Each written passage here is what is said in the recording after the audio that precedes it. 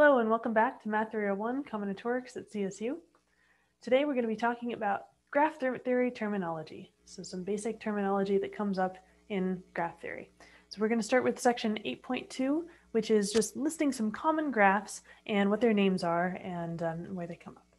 So the complete graph, Kn, is the, the graph on n vertices that has all possible edges between those vertices. So every pair of vertices uh, makes an edge.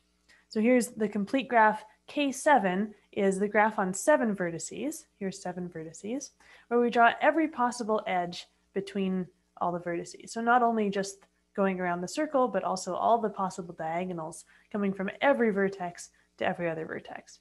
So we've seen this graph in chapter one when we talked about uh, the handshake problem where everybody in the room shakes hands with everybody else and you want to count how many handshakes there are. So we can generalize this, of course, to a complete graph Kn and say how many edges are there, where an edge represents a handshake between two people. And so in the in the case of K7, we can say, well, there's there's in order to make an edge, since there's seven people, it involves choosing two of the people. So we can compute seven choose two to count the number of edges. So that's seven times six divided by two, which is 21. So in general, the complete graph Kn is going to have exactly n choose two edges. So it's a graph with n vertices and n choose two edges. There's lots of other important graphs. So two of them are the path graph and the cycle graph. So the path graph, which we write as Pn, is the graph on n vertices that's, that just makes a path of length n. Um, so you just connect them straight across. Whereas the cycle graph is when you connect the first and last points of a path graph to form a cycle. And here's the cycle graph C5 as an, as an example. And another example is a bipartite graph. So this is not one specific example of a graph, it's just a class of graphs that um, has the property that you have a left set and a right set. Um, here I have A, B, and C on the left, and then a bunch of words on the right, apple, berry, acorn, and cherry. And maybe we can draw the graph of where we connect a letter to a word if that letter is in the word. So A is certainly an apple and acorn, but it's not in, berry or cherry. B is in berry, um, and C is in both cherry and acorn. So don't forget that C in acorn, even though it's not the first letter of the word. So that's an example of a bipartite graph where we match two different types of objects based on some relation between them.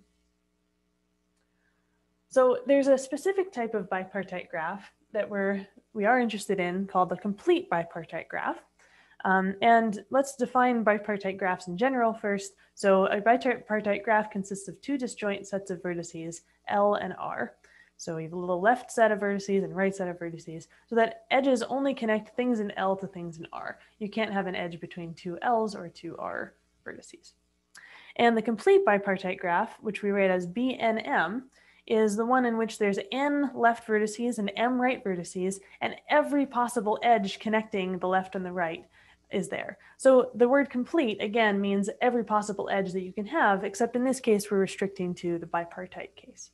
How many edges are there? Well, there's uh, n times m ways of choosing something from the left set and then something from the right set to make an edge. So there are n times m edges in the bipartite graph, BNM. Here's another um, very useful graph ter terminology that comes up in section 8.3 in the book and that is the degree of a vertex, the number of edges adjacent to it. We also mentioned this briefly in chapter one, but now we're coming back to it in the official graph theory chapter. So here's an example of a graph, and you can see this vertex has two edges attached to it. This one has two, this one has three. These both have one. And this center vertex has degree five, five edges attached to it. Now, the main theorem we want to know about degrees is that the sum of all the degrees of a graph, of, of, of the vertices in any graph must be even.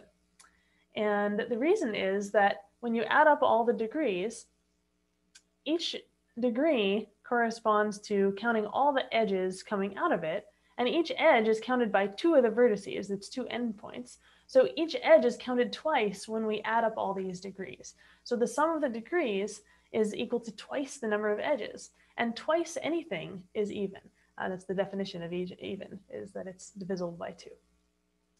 So we have proven that the sum of the degrees of a graph must be even. And we can use this to eliminate certain graphs. For instance, you can ask, is there a graph on four vertices whose degrees are 1, 2, 2, and 4? in some order.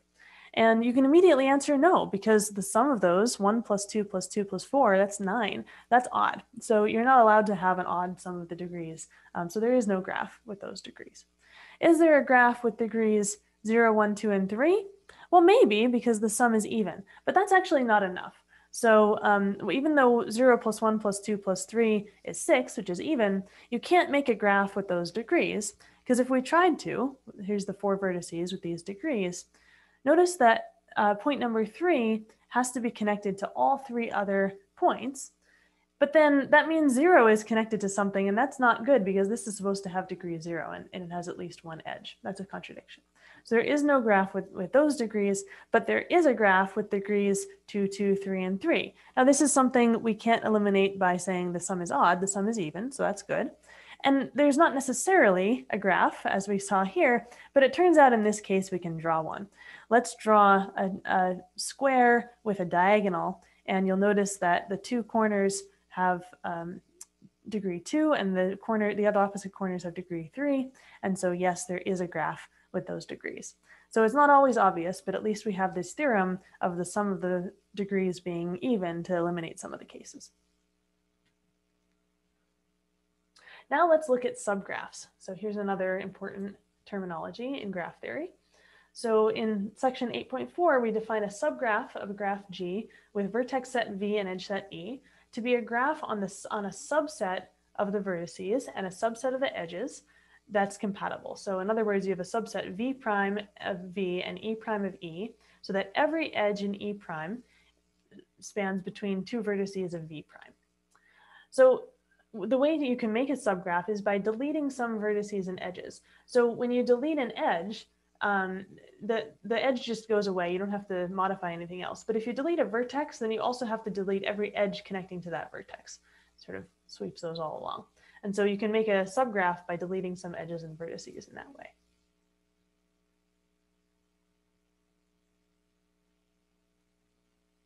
Now let's look at the complement of a graph, which subgraphs are useful for defining. And for this section in graph complements, I want to remind um, us that we're only dealing with simple graphs, so no multiple edges or loops. And any graph on n vertices of this type is it can be thought of as a subgraph of Kn. So Kn, remember, is the complete graph. And if you if you have some graph on n vertices, well, you have some of the edges and maybe not all of the edges. So it's a subgraph of Kn. So if G is a subgraph of Kn, with all uh, n vertices that Kn has. And, but you have a subset of the edges, E being a subset of all the e edges in Kn, then the complement is formed by taking the, the set of all edges in Kn and subtracting the subset that we started with. So you can see the if the black edges are G, the complement is going to be all these red edges G in G hat um, the red edges are exactly connecting two vertices if they are not connected by a black edge. So one model for this is if you have a bunch of people and some of them are connected on social media, maybe they're friends on some uh, social media platform, then you can draw a black edge if they're connected. Um, and then the complement is, is showing who is not connected to each other, right? And you can study that graph as well to get some information about the system.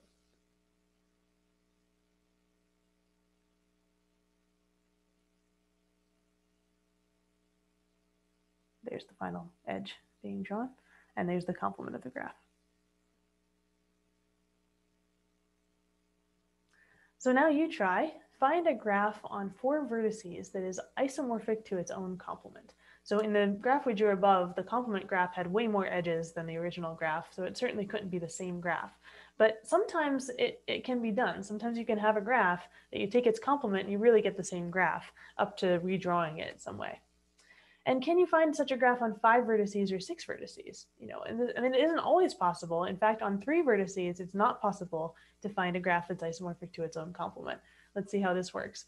So if you have three vertices and you draw a graph, well, the graph either has zero, one, two, or three edges. There's only three possible edges you can draw.